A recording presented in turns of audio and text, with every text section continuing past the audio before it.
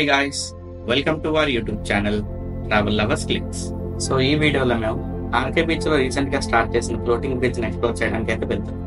Floating bridge RK బీచ్లో ఉందన్న విషయం అందరికీ తెలుసు.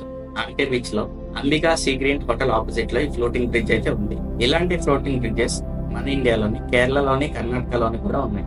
సో మన వైజాగ్ టూరిజం ని బూస్ట్ చేయడానికి ఈ ఫ్లోటింగ్ బ్రిడ్జ్ అయితే ఇన్స్టాల్ చేశారు. ఫ్లోటింగ్ బ్రిడ్జ్కి వైజాగ్ నుంచే కాదు ఇతర సిటీస్ నుంచి కూడా బాగా రెస్పాన్స్ వస్తుంది. సోషల్ మీడియాలో కూడా చాలా అటెన్షన్ గ్రాప్ చేసింది చాలా హైప్ కూడా వచ్చింది. సో మనమైతే అంబికా సీ హోటల్ దగ్గరికి వచ్చేసాం. దీని ఆపోజిట్లోనే ఫ్లోటింగ్ బ్రిడ్జ్ ఈ ఫ్లోటింగ్ బ్రిడ్జ్ని మెయింటైన్ చేస్తున్న వాళ్ళు అంటే ఈ అడ్వెంచర్ యాక్టివిటీని ప్రొవైడ్ చేస్తున్న వాళ్ళు ఎస్ఎస్ఎం షిప్పింగ్ అండ్ అడ్వెంచర్ అనే ఒక కంపెనీ సో ఫ్లోటింగ్ బ్రిడ్జ్ దగ్గరికి అయితే వచ్చేసాం. మాతో పాటు చాలా మంది జనం ఇక్కడ ఉన్నారు.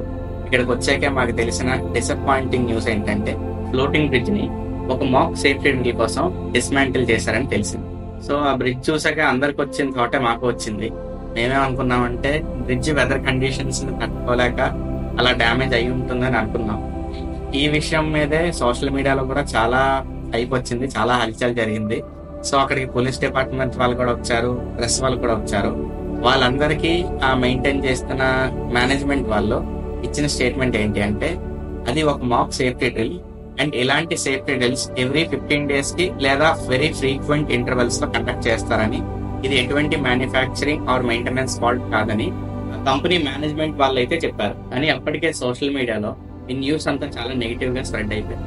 కంపెనీ నెగ్లిజెన్స్ వల్ల ఇలా జరిగిందని improper maintenance or improper installation వల్లే ఇలాగ ఈ ఫ్లోటింగ్ బ్రిడ్జ్ డ్యామేజ్ అయిందని చాలా మంది సోషల్ మీడియాలోని పోస్ట్ అయితే పెట్టడం జరిగింది.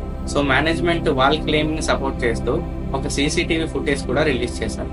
ఆ సీసీటీవీ ఫుటేజ్లో లైఫ్ గార్డ్సే ఈ ఫ్లోటింగ్ బ్రిడ్జ్ని సేఫ్టీ డ్రిల్ కోసం డిసెసెంబుల్ చేసినట్టు మనం చూడొచ్చు.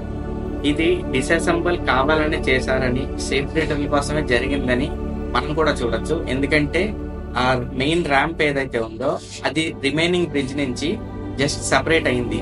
కాకపోతే అది కంప్లీట్గా డిస్కనెక్ట్ అయితే అవ్వలేదు. అది డ్యామేజ్ ఏం అవ్వలేదు.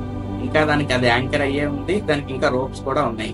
సో ఆ రోప్స్ హెల్ప్ తోని లైఫ్ గార్డ్స్ ఆ ర్యాంప్ని మళ్ళీ పుల్ చేసి ఫ్లోటింగ్ బ్రిడ్జ్కి అటాచ్ చేస్తారు. సో ఈ మాక్ డ్రిల్ని కండక్ట్ చేయడానికి రీజన్ ఏంటంటే వచ్చే టూరిస్ట్స్కి సేఫ్టీతో పాటు ఒక థ్రిల్లింగ్ అడ్వెంచర్ని ప్రొవైడ్ చేయాలనేసి ఇంకొద్దిగా ఇంప్రూవ్మెంట్స్ చేయడం కోసమే ఈ సేఫ్టీ డ్రిల్ని కండక్ట్ చేశారు. కానీ అప్పటికే సోషల్ మీడియాలో బాగా కాల్ అవుతుంది పోలీస్ డిపార్ట్మెంట్ వాళ్ళు కూడా వచ్చారు. పోలీస్ డిపార్ట్మెంట్ వాళ్ళు ఇన్వెస్టిగేట్ చేసిన తర్వాతనే ఇది ఒక సేఫ్టీ డ్రిల్ అని ఎటువంటి మ్యానుఫ్యాక్చరింగ్ ఫాల్ట్ కాదని విషయం బయటికి తెలిసింది. సో మనం ఆల్రెడీ వీడియోలో చూడొచ్చు లైఫ్ గార్డ్స్ అయితే ఆ ర్యాంప్ని పుల్ చేస్తూ ఫ్లోటింగ్ బ్రిడ్జ్కి అటాచ్ చేస్తున్నారు. సో ఇది ఒక సేఫ్టీ డ్రిల్ మాత్రమే. అండ్ ఇంకొన్ని మైనర్ ఇంప్రూవ్మెంట్స్ చేస్తారు యూజర్స్కి బెస్ట్ ఎక్స్పీరియన్స్ ఇవ్వడం కోసం. అండ్ మేనేజ్మెంట్ వాళ్ళు ఆల్రెడీ చెప్పిన విషయం ఏంటంటే ఈ ఫ్లోటింగ్ బ్రిడ్జ్ ఎక్స్ట్రీమ్ వెదర్ కండిషన్స్ని తట్టుకునేలాగా తయారు చేశారని. సో టూరిస్టులు ఎవరు దీన్ని ట్రై చేయడానికి పానిక్ అవ్వాల్సిన పని లేదని ఒక అష్యూరెన్స్ అయితే ఇచ్చారు. సో మన వైజాగ్ గైడ్స్ ఎవరు వరి అవ్వకుండా ఈ ఫ్లోటింగ్ బ్రిడ్జ్ రీఓపెనింగ్ కోసం వెయిట్ చేద్దాం. సో ఈ వీడియో మీకు నచ్చినట్టయితే లైక్ కమెంట్ షేర్ చేయండి. అండ్ డెఫినెట్గా సబ్స్క్రైబ్ చేయండి. Thank you